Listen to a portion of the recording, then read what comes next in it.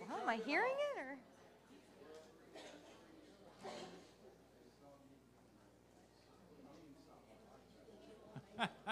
He's still talking over there. I don't know what it is, but he.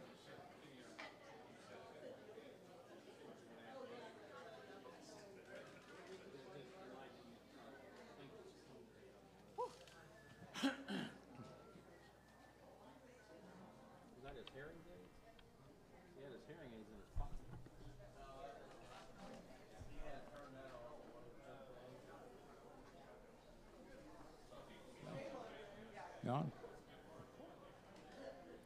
Good morning, everyone. Didn't mean to abruptly wake you up over there. Scott had a small issue over in the back right corner, but I think we're okay. Scott, we're over here. Scott was coming in hot this morning. He was ready to bring it, but he's toning himself right back down. I hope you had a good week, a good weekend. What beautiful weather we've been blessed with. Amen. Does anyone like me, this beautiful weather gets you out in the yard and you start doing too much when you don't want to admit that I can't do what I used to do? And you can barely, well, that pew feels really comfortable, doesn't it? Just, it's hard to get up and move around today. I hope through this week, from our message last Sunday, that no matter where you found yourself, that you're able to hold on to this truth. Let us run with perseverance the race marked out for us, fixing our eyes on Jesus the pioneer and the perfecter of our faith. I hope that no matter where you were, wherever this week took you, whatever your situations were, you kept your eyes fixed on Jesus. Amen? That's what we got to do. We can't look to this world for answers. Keep our eyes fixed on Jesus because his amazing grace covers all of our sin, and his hand is always there to pull us up. Let's stand up this morning and proclaim and sing out that truth. Two, three,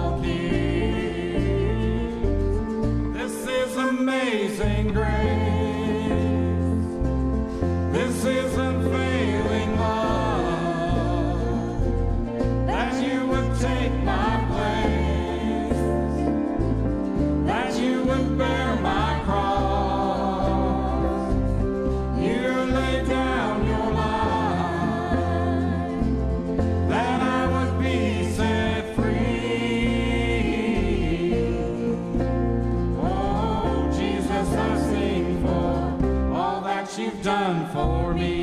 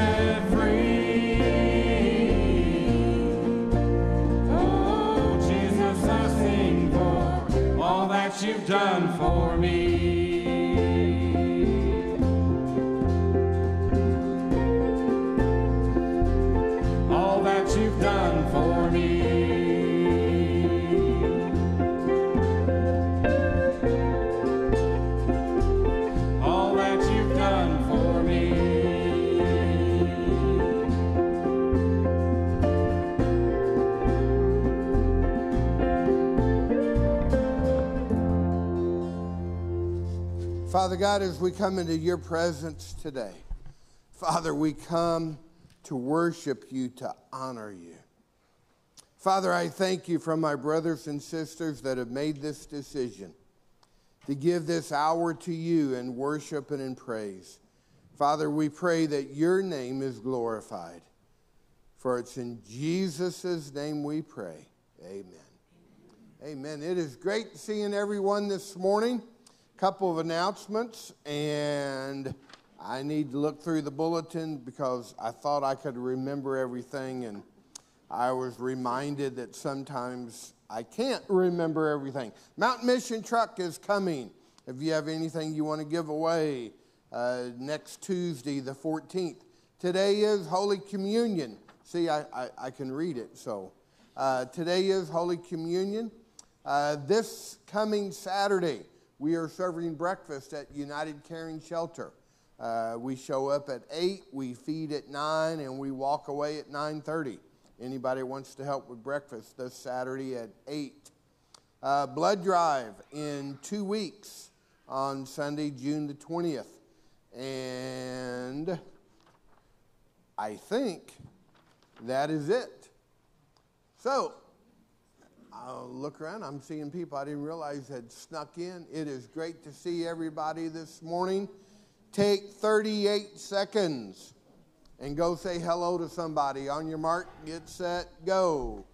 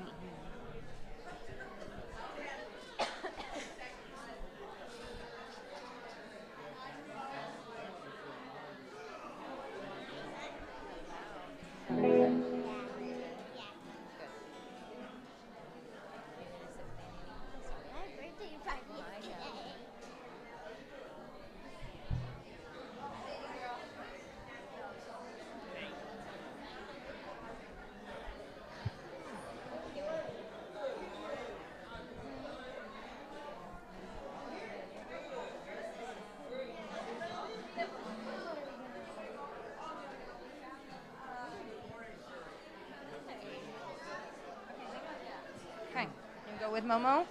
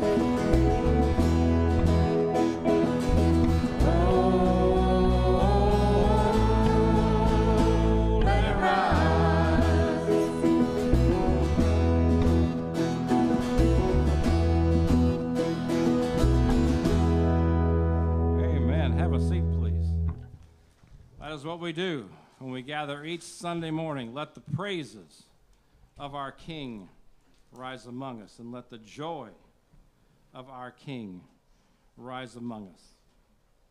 I love from Psalm 33 Our soul waits for the Lord, He is our help and shield.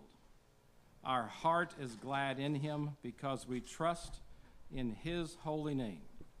Let your steadfast love, O Lord, be upon us, even as we hope in you. Our hope is in Jesus Christ alone. Amen. That's why we gather each Sunday morning. That's why each and every day, throughout our day, hopefully, the praises of our King, the joys of our Lord for what he has done for us rises from our lives for those around us to see. Father God, it is good to be in your house this morning. It is good to proclaim as one body, one voice, the praises of our King. We thank you, Lord, for your amazing grace. We thank you for your unfailing love. Father, you took our place. You bore our cross. You laid down your life so that we would be free, and we are so thankful. That is why we sing, we let our voices, we let our lives proclaim so others will see all that you have done for us. Father, no matter where we find ourselves as we go out this next week, may our hope be totally in you. May we seek after you to show us your ways, to guide us in truth each and every day, because our hope is in you and you alone. Father, thank you for giving us the privilege to come into your presence this morning, to lift our voices and our praises to our King. May you be honored by that, by the hearts, the thankful hearts that are gathered here today. We thank you, we love you, and all of God's people said, Amen. To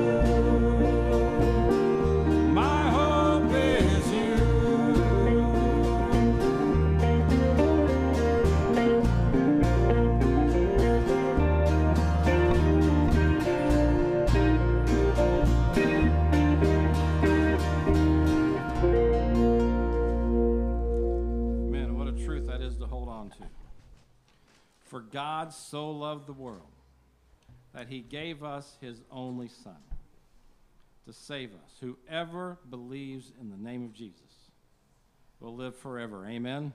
Amen. That means we can bring all of our failures, all of our addictions, all those things we keep hidden in dark places, lay them down at the foot of the cross this morning, tonight, any day with open arms. He is there to receive us.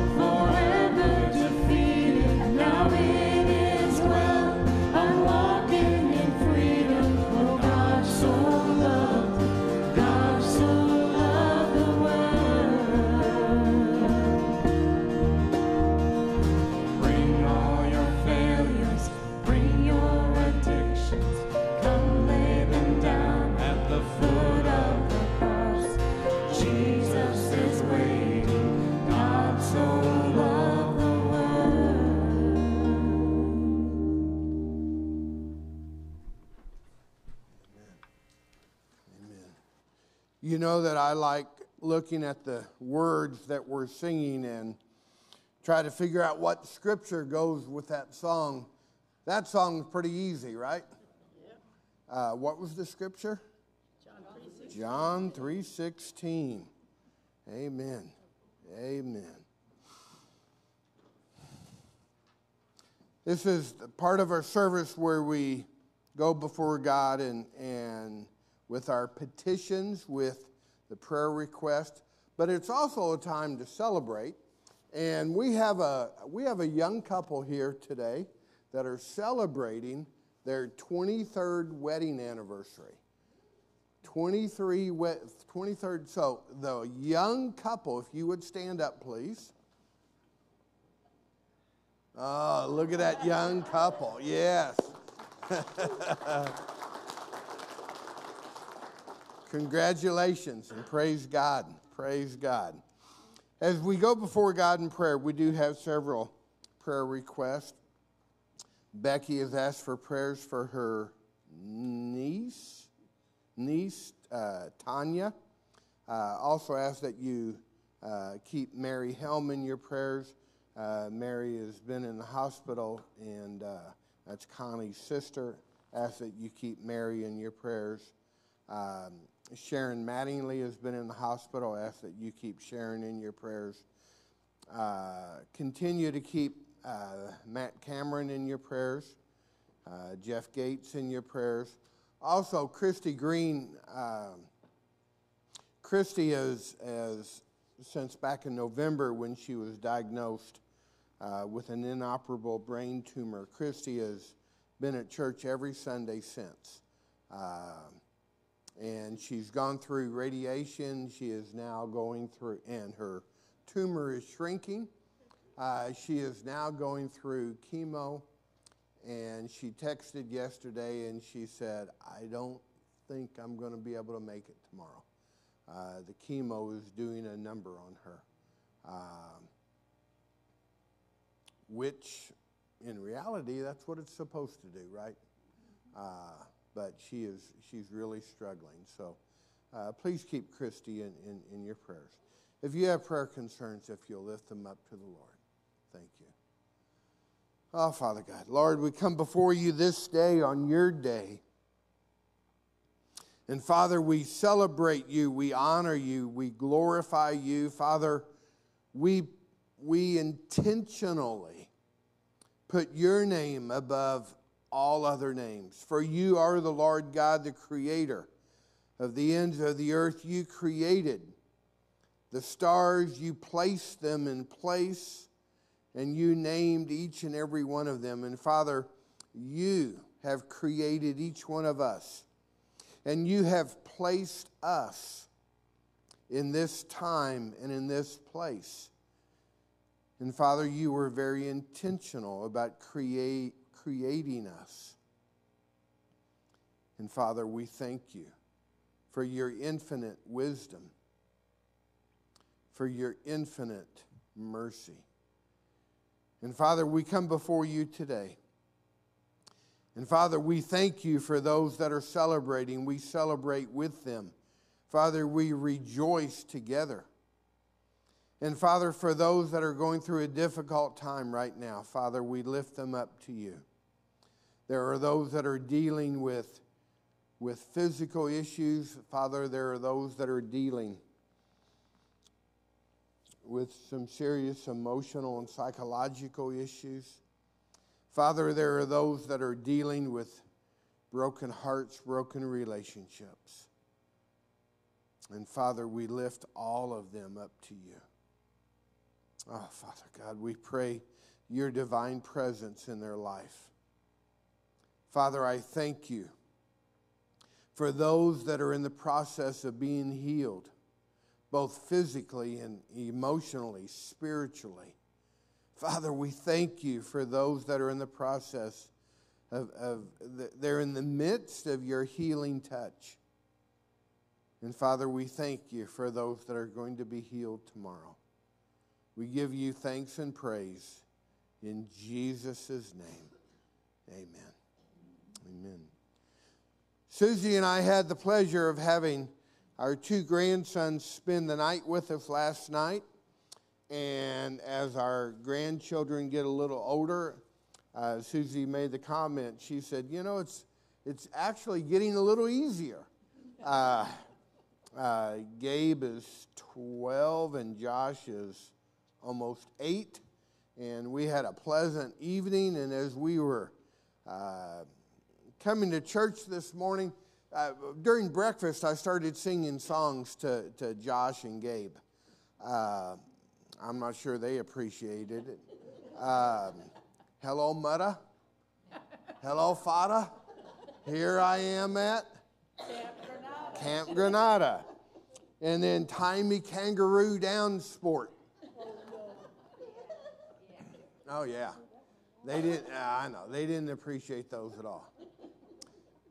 And then, you all may not realize it, but you know what today is? besides Sunday? It's Pentecost Sunday. It's Pentecost Sunday. And I started singing Mississippi Squirrel Revival. I thought that was appropriate for Pentecost Sunday. Does anybody not know the song? Do you want me to sing it to you? You don't know you don't know the song Mississippi Squirrel Revival? Some guy named Ray Stevens and he captured a squirrel and he put it in a shoebox and he took it to church. Do you know the song? Oh, and he took it to church with him, and the squirrel got loose during church, and they had a revival. The, you're not looking it up, are you? Oh, I thought you were going to play it. Uh, the squirrel went up Brother So and so's coveralls and then the squirrel went up Bertha Better Than You's dress. You remember the song? And what happened in that little sleepy town of Pascaluga? Pascalusa or whatever? What is it?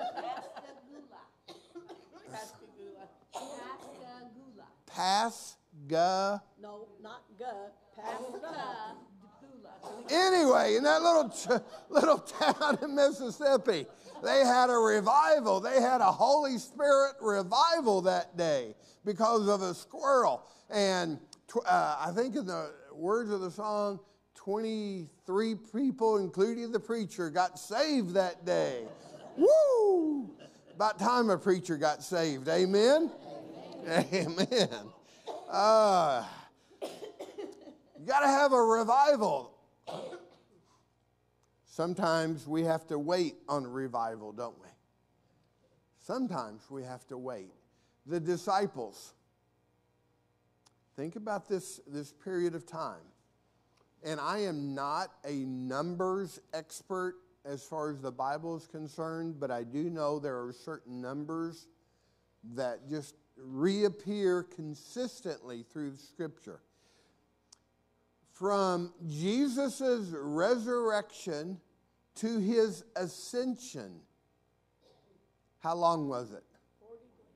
40 days and 40 nights, right? Or 40 days, right? There's that number 40. Pentecost is how long? How long did they have to wait for Pentecost? They had to wait 50 days. Okay? They had to wait 50 days. And I'm going to go through some of the scriptures about the Holy Spirit. But they had to wait. They had to wait.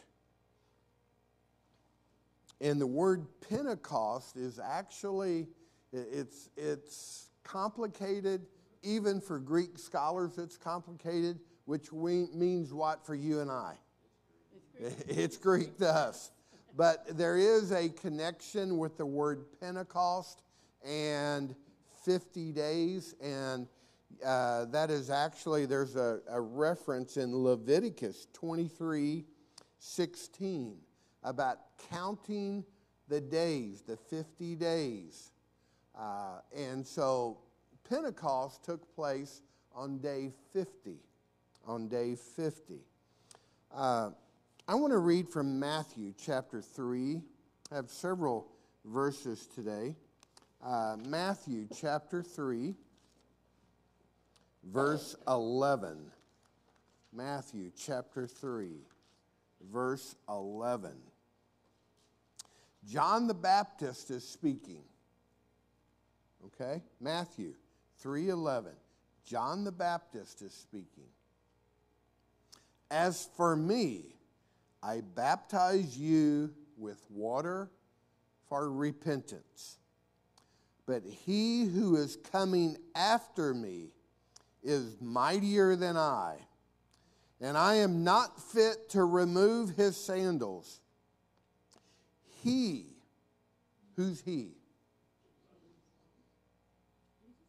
Jesus, okay? When- Whenever, I, whenever I'm reading scripture and it talks about he and they and them, and I'm always like, who are they talking about?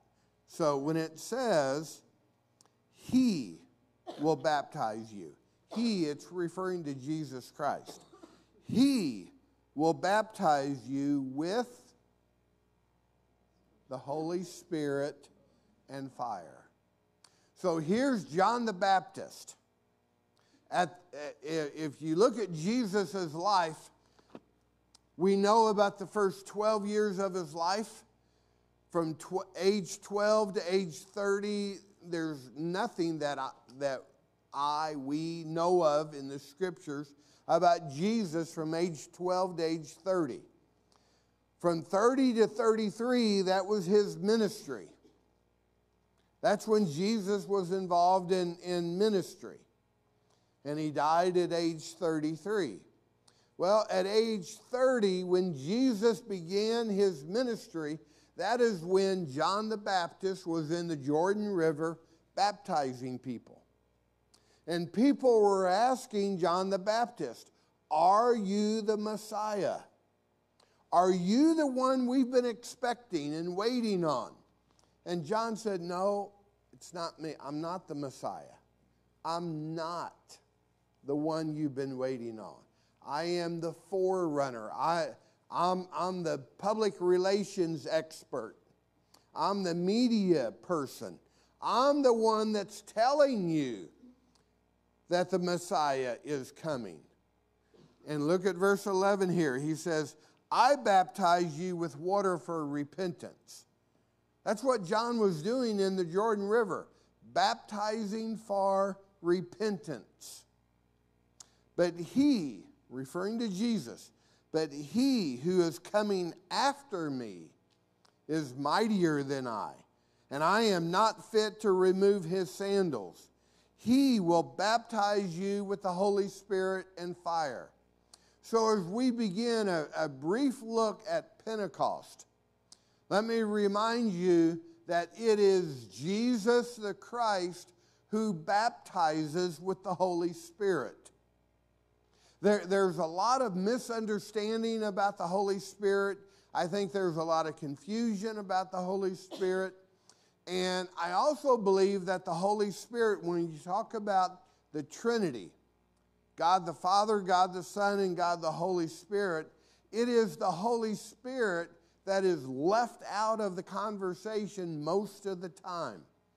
And I think there's several reasons for that, but there, there's just so much about the Holy Spirit that we're, we're, we're confused about. And so this morning, I'm not going to go into a long uh, history lesson and teaching on the Holy Spirit, just a couple of scriptures to help us to have a small understanding of the Holy Spirit. But it is Jesus who baptizes with the Holy Spirit. I don't know of any other reference in Scripture where somebody else is baptizing with the Holy Spirit. If you ask me to baptize you, I, I can. I can do a John, my favorite window. I can do a John the Baptist. I can baptize you with water. But I cannot baptize you with the Holy Spirit. Only Jesus can baptize with the Holy Spirit. And that's what John was saying here. He said, I, I just baptize with water. It is Jesus who baptizes with the Holy Spirit.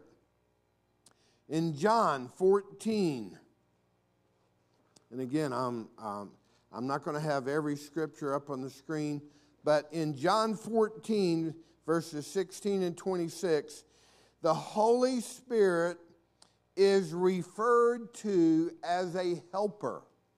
So when we think about the Holy Spirit, what exactly does the Holy Spirit do? What is the purpose of the Holy Spirit?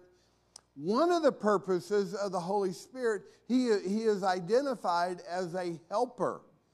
And, and again, this is in John 14, verses 16 and 26. And what it says about the Holy Spirit is he will help us to remember the words of Jesus. That's one of the functions of the Holy Spirit. People are like, well, what's the Holy Spirit do? He helps us to remember the words of Jesus. How many of y'all need help with your memory? Why are your hands up? Oh, I forgot. We're, I asked you about memory. We need the Holy Spirit to help us to remember the words of Jesus. There are times when the words of Jesus come out of our mouth and we don't really know where it came from. We don't know why we said something. I know there have been times when I've said things to people and I'm like, why did I just say that? And, well, sometimes it's because I'm human and I make mistakes. But I also pray that sometimes it's the words of Jesus coming out of me that I didn't necessarily remember, but it is the Holy Spirit working through you and I as children of God. That's one of the purposes of the Holy Spirit is to help us to remember. The Holy Spirit is a helper. In Acts chapter 1, let me go ahead and turn there. In Acts chapter 1, starting with verse 3. Acts chapter 1, starting with verse 3. To these he also presented himself alive after his suffering by many convincing proofs, appearing to them over a period. How long, Kurt? You said it earlier. 40 days. And speaking of the things concerning the kingdom of God. In verse 4, gathering them together, he commanded them not to leave Jerusalem, but to wait. There's that word again, but to wait. They had to wait. Do y'all have trouble with waiting? I was at a stoplight the other day and I waited and I waited and I waited and there was no traffic coming the other direction and I waited and finally I made the executive decision that the light was malfunctioning. I mean, how long do you wait? There was no traffic coming, so finally I just went ahead and made my I went through on the red light and made my turn and went on. And I glanced in my rearview mirror, and what happened? The light switched. If I just would have waited another 10 seconds. Welcome to, yeah, I know, that's the world we live in. Gathering them together, he commanded them not to leave Jerusalem, but to wait for what the Father had promised which he said, You heard of from me. For John baptized with water, but you will be baptized with the Holy Spirit not many days from now. So when they had come together, they were asking him, saying, Lord, is it at this time you are restoring the kingdom to Israel? And he said to them, It is not for you to know times or epochs which the Father has fixed by his own authority verse 8. What a powerful, powerful verse, Acts 1 8. But you will receive power when the Holy Spirit has come upon you. And you shall be my witnesses both in Jerusalem, in all Judea and Samaria, and even to the remotest part of the earth. They had to wait for the Holy Spirit. We already know that the Holy Spirit is our helper. And the Holy Spirit helps us to remember the words of Jesus. And here we have another function of the Holy Spirit. The Holy Spirit does what for you and I? It gives us power. Look at verse 8. But you shall receive power when the Holy Spirit comes upon you. That you might lift 20 tons. No. What, what's the power that we receive?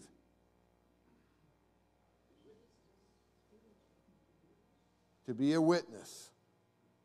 That's the power that we receive from the Holy Spirit when Jesus baptizes us with the Holy Spirit.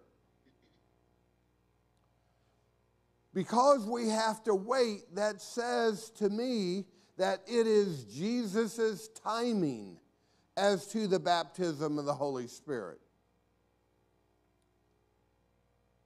It's according to Jesus' timetable. And when we are baptized with the Holy Spirit by Jesus and no one else, the Holy Spirit is given to us as a helper.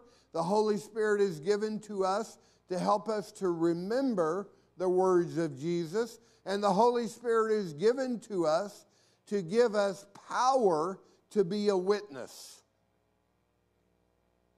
I could stop right now. I, I, I could just, I could go on and on and on. John chapter 20, verses 21 and 22. It says that Jesus would breathe on them and they would receive the Holy Spirit. Jesus would breathe on them. And if you know anything about Scripture, it talks about things that were created by the breath of God. And we know that it was Jesus, the Son of God, who created everything. It was through the breath of Jesus that things were created. And so it is from the breath of Jesus that we are baptized. We know that the baptism of John is by water, whether sprinkling, immersion, it, it's by water. That's the baptism of repentance. But the baptism by Jesus of the Holy Spirit is through the breath of Jesus. That is how, that is how the, the baptism of, Holy, of the Holy Spirit is received. It's by the breath of Jesus.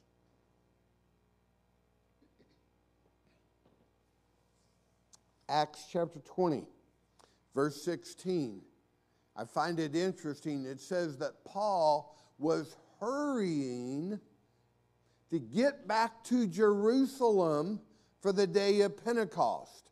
And so, this idea of celebrating the day of Pentecost, it is not a recent phenomenon.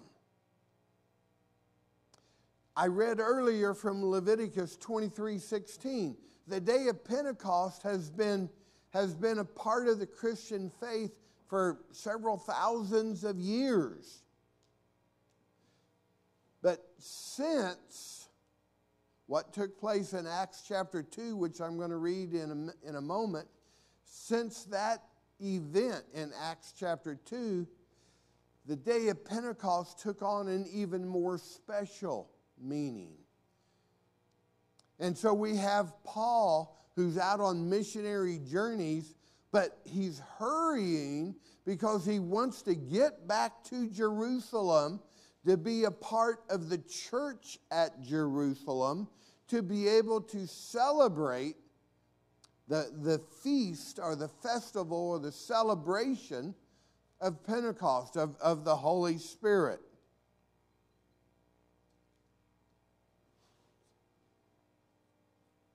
Acts chapter 2. Let's start with verse 1. Acts chapter 2, starting with verse 1. When the day of Pentecost had come, they were all together in one place. And suddenly there came from heaven a noise like a violent rushing wind, and it filled the whole house where they were sitting. And there appeared to them tongues as of fire, distributing themselves. And they rested on each one of them. And they were all filled with the Holy Spirit and began to speak with other tongues as the Spirit was giving them utterance. Why were they speaking with other tongues? Go back to Acts 1 8. Why would they receive power? To do what? To be a witness. Okay? It all ties in together. They were going to receive the Holy Spirit by the breath of Jesus Christ Himself so that they would receive power to be a witness. So, here in Jerusalem in the upper room, they are all gathered together on the day of Pentecost, which, now keep in mind, the day of Pentecost did not start right here 50 days after Jesus. The day of Pentecost had been celebrated for, for a long period of time. Go back to Leviticus 23 16. And so they were there on the day of Pentecost. And it was then when Jesus decided in his timing to breathe on them the Holy Spirit. And they were able to speak in other tongues. Why were they able to speak in other tongues? To be a witness. That was the whole purpose to be a witness. And the people that heard them speaking in other tongues, they heard them speaking in their own language so that they could understand what they were saying. That was the purpose to be a witness. In Acts 2 38, let me go ahead and turn to that. Acts chapter 2 verse 38. Peter said to them, these people that were that heard the disciples speaking in other language and they were like what's going on? What's happening? Acts 2.38 and peter said to them because they had asked uh, I, I should have verse 37 they said what should we do? And peter said to them verse 38 repent. That's for each one of us. Repent. And each of you be baptized. Now, now notice here, there's an order. Repent, that comes first. And each of you be baptized in the name of Jesus Christ. Why? For the forgiveness of your sins. That's next. First is repent. Second is be baptized in the name of Jesus Christ. Why? For the forgiveness of your sins. And then, what comes next? You will receive the gift of the Holy Spirit. You don't get the gift of the Holy Spirit if you haven't repented and received forgiveness for your sins. There's an order in which this takes place. John chapter 16. I'm running out of time, but uh, there's I, we could go on and on and on, but I'm trying to keep this as short as I can. John chapter 16, starting with verse 7. Jesus is speaking. And Jesus says, But I tell you the truth, it is to your advantage that I go away. For if I do not go away, the Helper will not come to you. But if I go, I will send him to you. And he, when he comes, will convict the world concerning sin and righteousness and judgment. Concerning sin, because they do not believe in me. And concerning righteousness, because I go to the Father and you no longer see me. Concerning judgment, because the ruler of this world has been judged. I have many more things to say to you, but you cannot bear them now. But when He, the Spirit of truth, comes, He will guide you into all the truth. For He will not speak on His own initiative, but whatever He hears, He will speak. And He will disclose to you what is to come. As we celebrate Pentecost, the Holy Spirit, we know that the Holy Spirit is our comforter, He is our guide, our helper, our teacher. He is the one who convicts of sin. And you know the beautiful part about that? If it is the Holy Spirit that convicts of sin, you know what, you know what that means for you and I? We can take that off of our to do list. You realize that? We don't have to go around convicting people of sin. That's not our job, that's the Holy Spirit. And the Holy Spirit is the empowerer. There's got to be a better word, but I couldn't think of it. He is the empowerer. That's what the Holy Spirit does for us. As we celebrate Holy Communion this morning, you'll take your communion elements.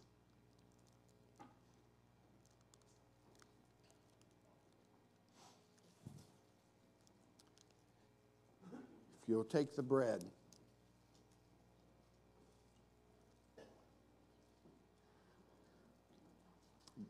Jesus took bread. He blessed that bread. He gave thanks over that bread. And what he said to those 12 men that night was, This is my body, broken for you. And what Jesus said next was, Take, eat, and do this in remembrance.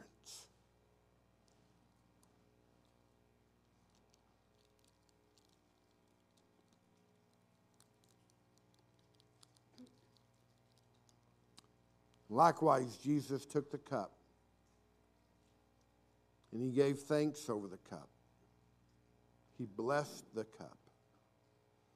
And he said to those 12 men, This is my blood of the new covenant.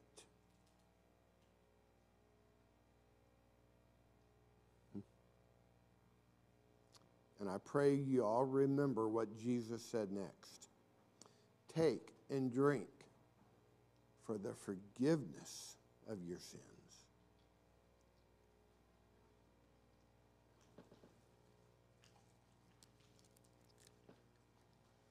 Please stand.